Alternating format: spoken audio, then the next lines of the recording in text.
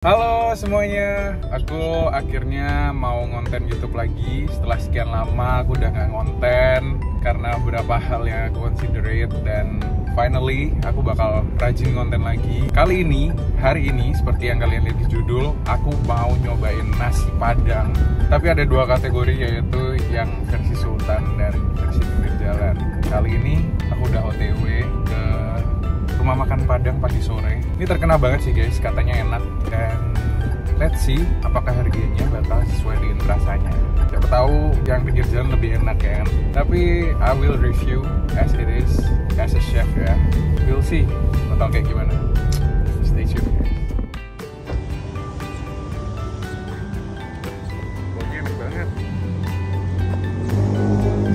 Oke, sekarang udah sampai.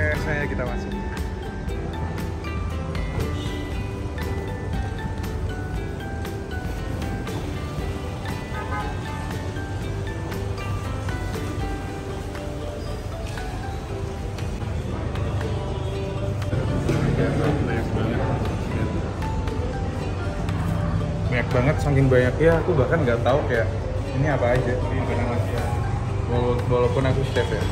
Karena makanan Indonesia itu banyak ragamnya.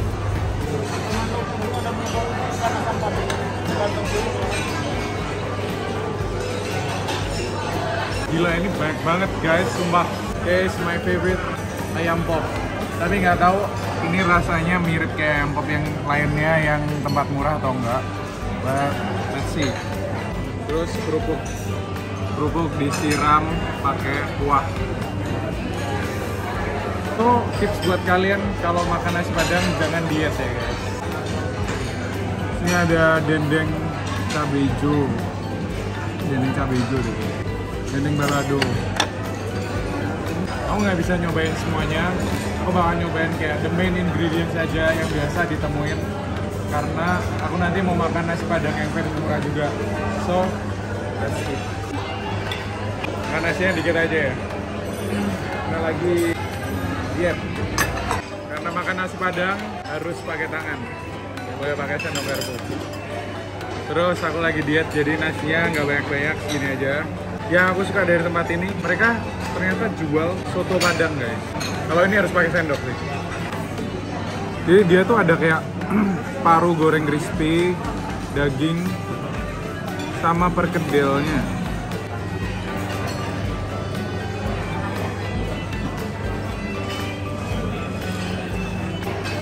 lupa doa guys benar. mari makan. Gila ini sotonya lebih ke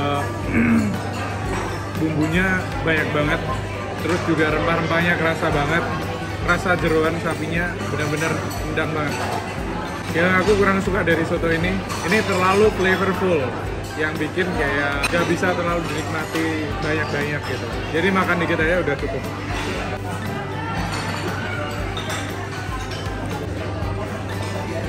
Dia tuh aroma bunga lawang sama cengkehnya kerasa banget sih. Jujur aku selama ini gak pernah nyobain soto padang baru di sini doang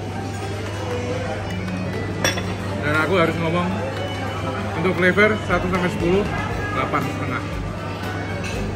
Oh dikasih jeruk nipis biar lebih ke tone down gitu. Nggak nggak terlalu enak.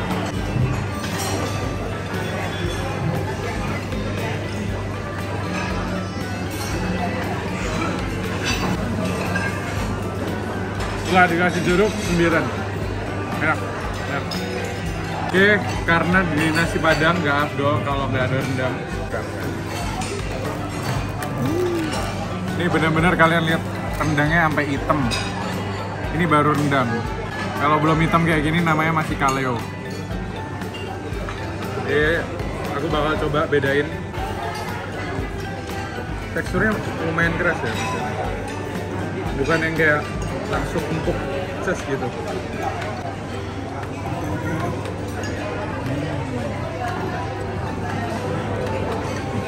rendangnya enak sebenarnya bumbunya enak juga. Tapi aku harus bilang pemilihan dagingnya bukan pemilihan daging yang sangat-sangat tepat. Karena daging yang lebih berlemak lagi yang paling cocok buat rendang. Jadi lebih meleleh lagi kayak lebih melt in your mouth gitu. Tapi ini not bad. Bisa dibilang 8 dari 10 karena jatuhnya dia jadi nggak nggak susah dimakan tapi kering. Bedanya kayak dada ayam sama paha ayam kalau dimasak lama sama-sama empuk tapi dada ayam kering. Nah ini kayak gini.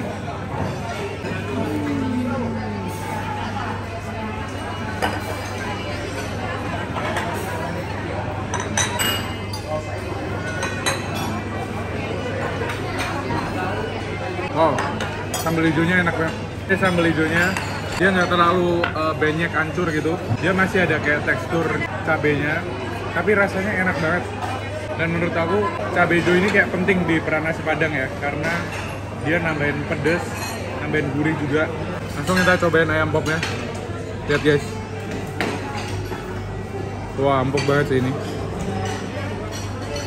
Gampang banget kayak lepasnya. Kita cobain.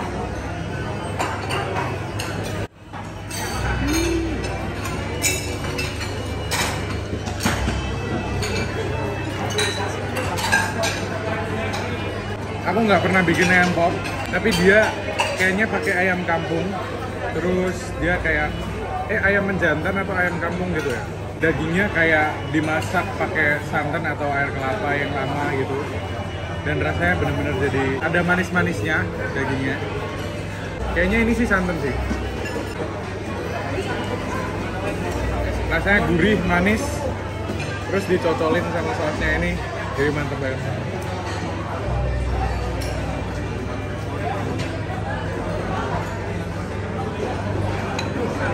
ayam pop 10 dari 10 tapi aku nggak tahu harganya berapa. Kayaknya aku mau lanjut makan lagi karena aku cuma mau makan ini aja sih. Nggak terlalu banyak daripada terlalu banyak nanti nggak bisa bandingin sama restoran Padang yang di pinggir jalan. So aku pesan ini aja and see you in nasi Padang pinggiran. Tapi aku ngelihat ini dari tadi di meja menarik perhatianku banget sih. Dendeng balado. Nah yang bedain dendeng balado enak sama enggak itu baladonya. Tapi dendengnya nggak boleh keras. So kalau ini keras berarti fail. But only one way to find out.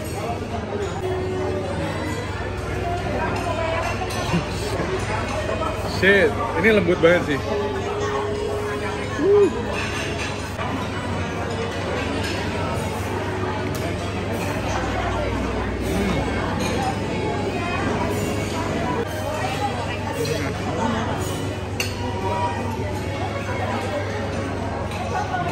sampai lupa ada ini guys. Kerupuk disiram kuah.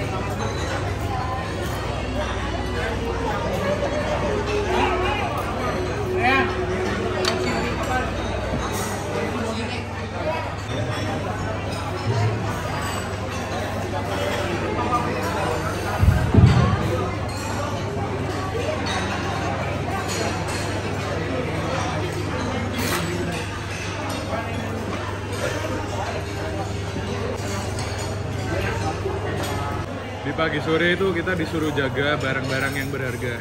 Berarti aku harus jagain kalian guys.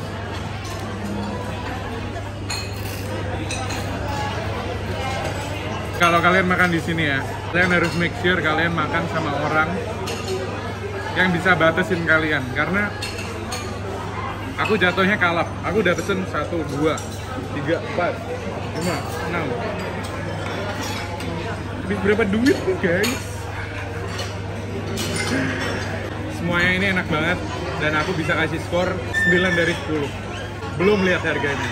Jadi nanti aku review lagi skornya setelah lihat harganya, oke? Bye guys. Gila, habisnya 353.000. Guys, gila. Kalian tahu harganya berapa? Aku makan habis sekitar 250-an sampai 300. Kalau aku harus bilang ini nasi padang aku kasih rate kayak mungkin 7 sampai 8 lah ya. Tergantung budget kalian sendiri. Kalau misalnya sekali makan nasi padang di luar cuma 20 30 ribu ini 200 300 guys. So mungkin sekali-sekali aja sih ke sini, nggak bisa yang tiap hari langsung makan gitu Enggak lah kantong gue kering guys Oke guys, sekarang gue lagi ada di Food Street Keramat. Nah, di jalan ini tuh penuh dengan nasi kapau. Berderet-deret dari sana sampai sana. Kali ini gue bakal nyari yang kelihatan paling menarik, gue bakal datengin. Dan yang pastinya ini adalah nasi padang pinggir jalan.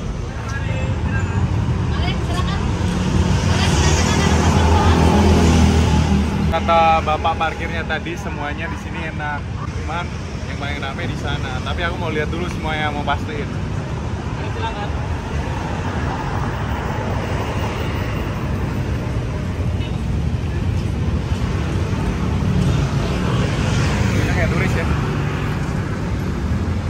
Waktu gua searching nasi padang yang murah tapi di pinggir jalan yang otentik, baru gua tahu tempat ini.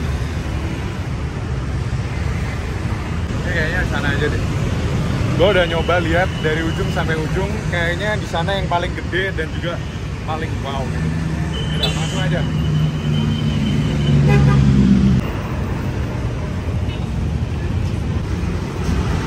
Ini apa aja? itu cincang, limpah, nanti Cincang itu loh. cincang tetelan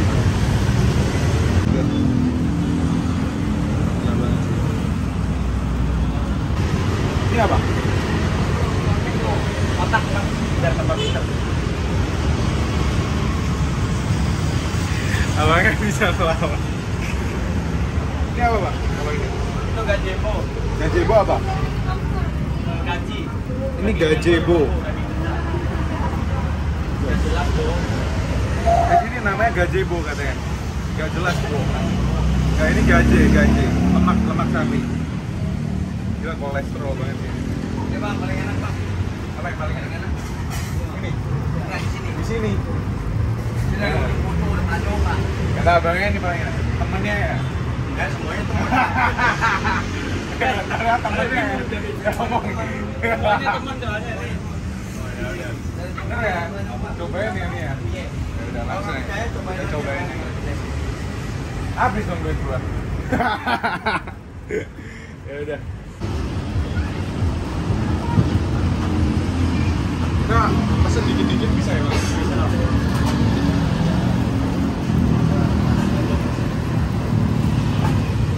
Oke. Oke, karena kelihatan yang paling menarik itu seperti biasa di nasi padang harus ada rendang.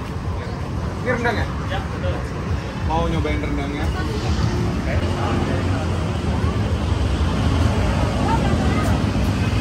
Telur barendo ada? Oke. barendonya Itu telur itu aja deh.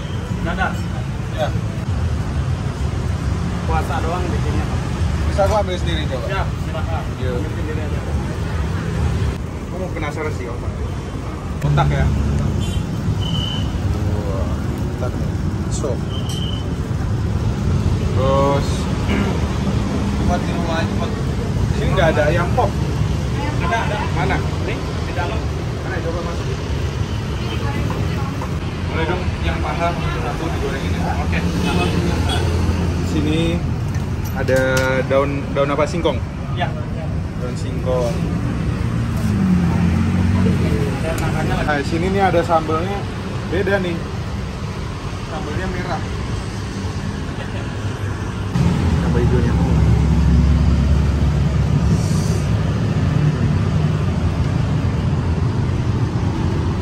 Oke.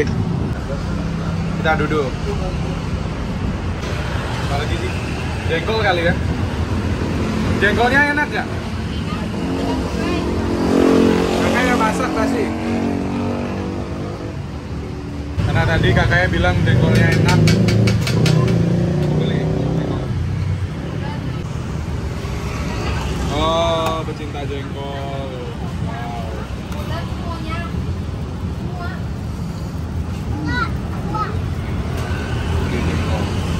Oke guys, sekarang makanannya udah keluar. Gila ini menarik banget. Ini tadi aku pesan seperti yang di video, tapi aku tambahin jengkol. Nah, aku penasaran banget jengkol yang benar-benar dimasak sama orang eh, Padang, orang kapal kayak gimana. Nah, ini ayam popnya beda banget sama ayam popnya eh, nasi padang kemarin. Pagi sore dia nggak ada bumbunya di luar dia digoreng. Sausnya cocolannya kayak sabe gini. Ini baru- beda banget sih guys. Aku mau langsung cobain ayam popnya karena aku penasaran banget beda.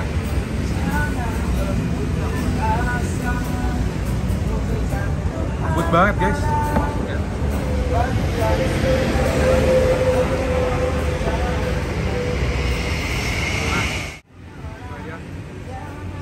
Makan langsung gini aja tanpa cabai apa ya? Ini ayam goreng biasa. Tapi kalau dicabain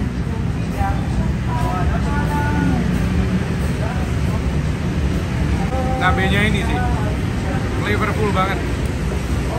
Tapi kalau dibilang ayam pop aku nggak tahu ya ayam pop yang beneran itu dia dibumbuin kayak di pagi sore atau digoreng kayak gini. Cuman aku suka teksturnya ini tapi di pagi sore aku lebih suka dia lebih berbumbu gitu dan lebih ngeresap. Tapi kalau ini cabenya enak banget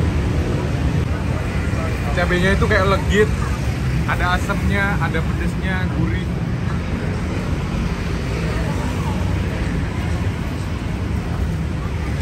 Datang juga nih sate padang. Tapi bumbunya itu kelihatan kayak agak kuning ya. Aku makan ini nanti aku makan nasi padangnya dulu. Ya lebih mantep telur dadal. Eh te- telur dadal. Telur dadar kasih kuah gulainya dikit.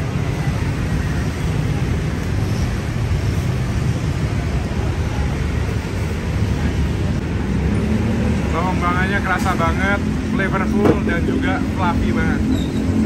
Enak ya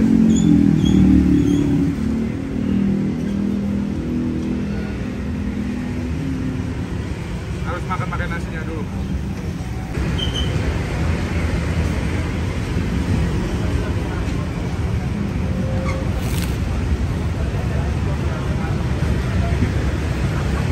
Kita cobain jengkolnya sekarang guys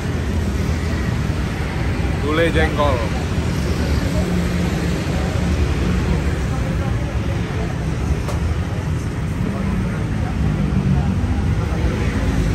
Wow Gak bau guys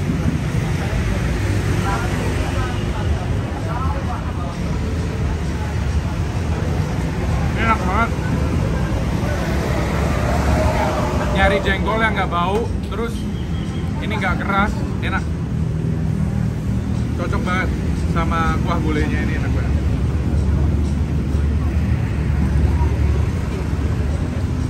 Rendangnya. Mantep banget ya. Kita lihat dulu kering atau enggak? Kering lah kurang suka rendang yang kurang eh, yang nggak empuk gitu loh. Ini tuh agak kering. Tapi rasanya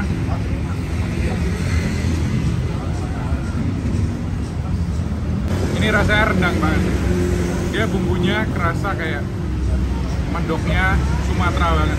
Tapi walaupun ini dagingnya kering ya dia itu nggak keras. Dia masih kayak eh, bisa di- dikunyah itu masih oke dan bumbunya kerasa banget padangnya Sumateranya itu dapat banget. Kalau misalnya kalian makan rendang kurang kerasa rempah-rempahnya itu masih kurang. Tapi ini full of flavor rempah-rempahnya kerasa semua. Pas banget gue lagi lapar banget guys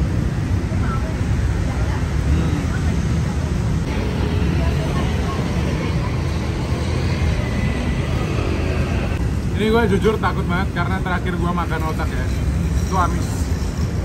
Dan ini Gue memberanikan diri untuk nyoba lagi. Semoga gak fail. Otak guys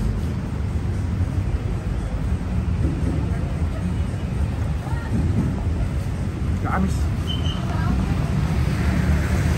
Creamy banget. Gak amis, creamy, dan rich. Full of flavor Ini mantep banget guys Hmm. Wow. Banget Ini namanya di sini tuh Nasi kapau murni. Tapi kita belum tahu harganya berapa. Jadi kita harus tunggu sampai terakhir dihitung sama mereka habis berapa.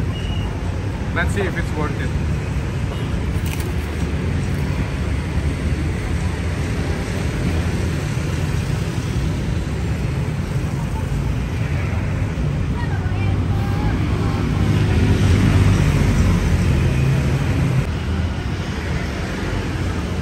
actionnya kapan?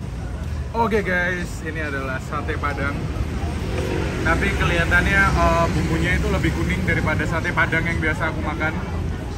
Dan tusukannya tipis-tipis dagingnya. Tapi aku penasaran tetap don't judge the book by its cover. That's right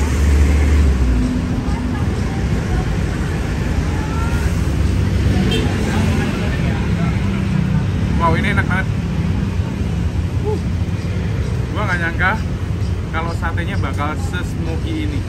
Dan dagingnya lembut banget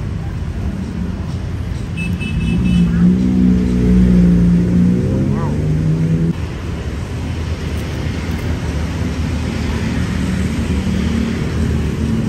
ayo mau makan ditawarin makan kabur ini bumbunya sendiri ini kerasa banget kunyitnya. Tapi rasa dari dagingnya sendiri smoky-nya kerasa banget, nendang banget. Ini menurutku salah satu sate padang yang enak. Tapi keseluruhan makanannya, baunya itu oke, nggak ada yang amis, otaknya rendangnya bumbunya juga mendok banget. Kayak popnya sambelnya enak banget. Dan di sini gulenya mantep. Sate padangnya juga mantep overall it's really good. Tinggal kita lihat habis berapa ya. Oh iya. habis berapa nih?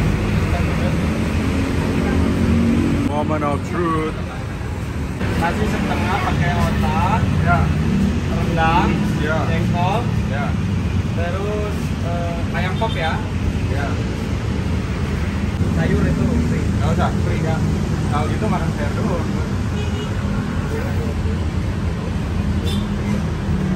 Nah, daun singkong di sini free guys.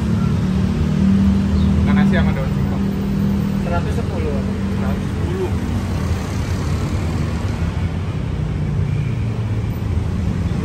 Gak ada duitnya. Utang itu.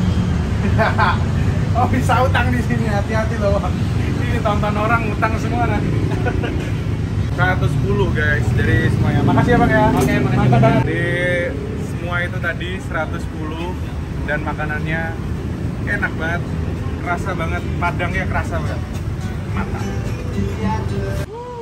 Kenyang banget guys. Dan menurut gua semua tadi 110 ribu lumayan worth it karena aku pesennya banyak banget jenisnya dan juga aku tadi ada sate padang juga menurut aku dibanding yang sebelumnya yang hampir 300 ribuan seorang di sini gue bisa makan nasi padang yang autentik dengan harga sepertiganya doang. Oke masalah preferensi kalian lebih suka yang mana itu terserah kalian. Jangan lupa nonton youtube aku terus. Like, comment, dan subscribe. Bye guys